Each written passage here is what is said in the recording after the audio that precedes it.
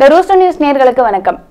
Lalitha jewellery கடையில துளையிட்டு ரெண்டு பேர் உள்ள புகுந்து ஐம்பது கோடி மதிப்பிலான நகைகளை கொள்ளையடிச்சிருக்காங்க. இது மிகப்பெரிய ஒரு பரபரப்பை ஏற்படுத்தியிருக்கு. யார் அந்த கொள்ளையர்கள்? எப்படி இந்த திருட்டு நடைபெற்றதுங்கிறத இந்த வீடியோல விரிவா பார்க்கலாம்.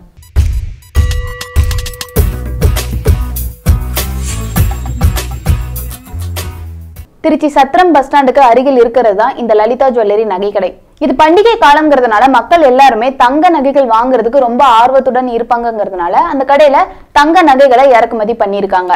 மேலும் இது காந்தி ஜெயந்தி லீவுங்கிறதுனால கஸ்டமர்கள் எல்லாமே நிறைய பேர் இன்னைக்கு கடைக்கு வருவாங்க அப்படிங்கிற ஒரு எதிர்பார்ப்புடன் அந்த கடையில ஒர்க் பண்ற ஊழியர்கள் எல்லாருமே இன்னைக்கு கடைக்கு சீக்கிரமா போய் திறந்துடலாம் அப்படிங்கிற ஒரு முடிவுல இருந்தாங்க. அதன் அடிப்படையில தான் இன்று காலை ரொம்ப சீக்கிரமா போய் கடையை திறந்து பார்த்திருக்காங்க.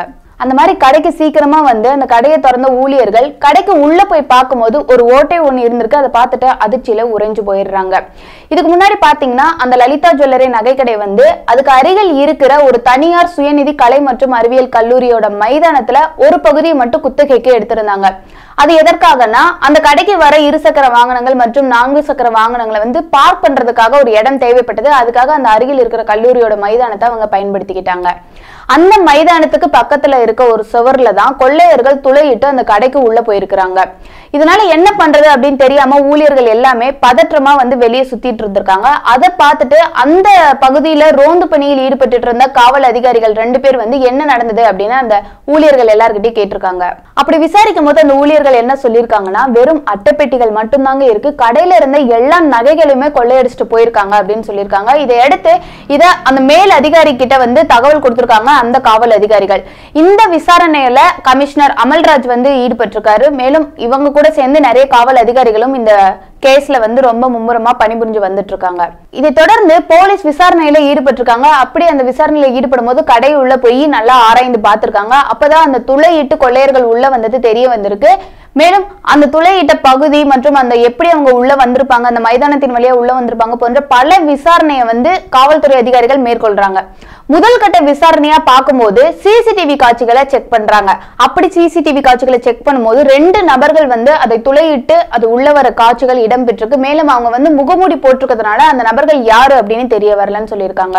கடையோட முதல் தளம் மற்றும் கீழ் தளத்துல கொள்ளையடிக்கப்பட்டிருக்கிறதாகவும் தகவல்கள் வெளியே வந்திருக்கு. இதை தொடர்ந்து இன்னும் கொள்ளையர்கள் யார் அப்படிங்கிறது கண்டுபிடிக்கப்படவில்லை. அந்த சிசிடிவி காட்சிகள்ல என்ன தெரிய வந்திருக்குன்னா கொள்ளையடிக்க வந்த ரெண்டு நபர்களுமே தங்களோட முகத்தை மறைக்கிறதுக்காக முகமூடி போட்டிருக்காங்க. கை ரேகை வந்து தெரியக்கூடாதுங்கிறதுக்காக கையில கிளவுஸும் போட்டிருக்காங்க. மேல ஜெர்கினும் போட்டிருக்காங்க. இதனால காவல்துறை அதிகாரிகளுக்கு அவங்களை வந்து அடையாளப்படுத்தி காட்டுறதுக்கான எந்த ஒரு ஆதாரமே கிடைக்கல அப்படிங்கிற ஒரு தகவல் வெளியே வந்திருக்கு. மேலும் இவங்க ஒரு வட இந்தியர்களாக கூட இருக்கலாம் அப்படிங்கிற ஒரு சந்தேகமும் காவல்துறை அதிகாரிகளுக்கு எழுந்து வந்திருக்கு. இந்த கொள்ளை சம்பவம் வந்து காலையில ஒரு ரெண்டு மணில இருந்து ஒரு மூன்று மணி அளவுல நடந்திருக்க வாய்ப்பு இருக்கிறதாகவும் அவங்க தெரிவிச்சிருக்காங்க. தற்போது இந்த சிசிடிவி காட்சியில இருக்க புகைப்படத்தை தான் வந்து காவல்துறை அதிகாரிகள் வெளியிட்டிருக்காங்க. ஆனா இன்னும் இந்த சிசிடிவி காட்சிகள் வெளியே விடவே இல்லை. மேலும் இந்த கொள்ளையடிக்கிறதுக்கு ரெண்டு நபர்கள் மட்டும்தான் ஈடுபட்டிருக்காங்கிறது இந்த சிசிடிவி காட்சிகளை மட்டுமே வச்சு நம்ம உறுதிப்படுத்த முடியாது. கண்டிப்பா இதை துளையிடுறதுக்கு வெளியே இருந்து வேற யாராவது கூட இவங்க ரெண்டு பேருக்கும் உதவி பண்ணிருக்கலாம் அதனால இந்த கொள்ளையடித்த சம்பவத்துல வெறும் இரண்டு நபர்கள் மட்டும்தான் இருக்காங்க அப்படிங்கறத நம்ம உறுதிப்படுத்த முடியாதுன்னு காவல்துறை அதிகாரிகள்லாம் தெரிவிச்சிருக்காங்க. இதே போல கடந்த சில மாதங்களுக்கு முன்னாடி திருச்சியில நம்பர் ஒன் டோல்கேட்டுக்கு அருகில் இருக்கிற ஒரு தனியார் வங்கியில இதே போன்ற ஒரு சம்பவம் நடந்திருக்கு. அதே மாதிரிதான் தனியார் வங்கியில ஒரு ஓட்டை ஒண்ணு போட்டு அதுக்குள்ள போய் கொள்ளையர்கள் எல்லாருமே அந்த வங்கியில இருந்த நகைகள் எல்லாத்தையுமே திருடிட்டு போயிருக்காங்க. இப்ப இதே போன்று லலிதா ஜுவல்லரி நகைக்கடையிலும் நடந்திருக்கிறதுனால இந்த ரெண்டு சம்பவங்களும் ஒரே கொள்ளையர்கள் தான் நடத்தியிருப்பாங்களா அப்படிங்கிற ஒரு சந்தேகமும் காவல் அதிகாரிகளுக்கு எழுந்து வந்திருக்கு. அந்த வழக்கோட விசாரணையும் இன்னும் நடைபெற்று கொண்டுதான் இருக்கு. ஆனா அந்த வழக்குல எந்த ஒரு தடயமும் இப்ப வரைக்கும் கிடைக்கவே இல்லை. இப்ப இந்த கேஸ்லயும் அதே மாதிரி தான் இருக்குமா? இல்ல இந்த கேஸ்ல கேஸ்லயாவது கொள்ளையர்கள் கண்டுபிடிக்கப்படுவார்களாங்கிற ஒரு கேள்வியும் எழுந்து வந்திருக்கு. மொத்தம் நூறு கிலோ தங்க நகைகள் கொள்ளையடிக்கப்பட்டிருக்கிறதாகவும் இதோட மதிப்பு ஐம்பது கோடி ரூபாய் இருக்கும் அப்படின்னு தகவல் வெளியாகியிருக்கு. இந்த அளவுக்கு மதிப்பு உடைய ஒரு நகைக்கடையில எந்த ஒரு செக்யூரிட்டியுமே இல்லையா அப்படிங்கிற ஒரு கேள்வி எழுந்து வந்த நிலையில அந்த நகைக்கடையில ஆறு வாட்ச்மேன்கள் பணியில இருந்திருக்காங்க. அப்படி இருந்தும் கூட அந்த கடையில வந்து கொள்ளையடிக்கப்பட்டிருப்பது பெருத்த ஒரு சந்தேகத்தை ஏற்படுத்தியிருக்கு.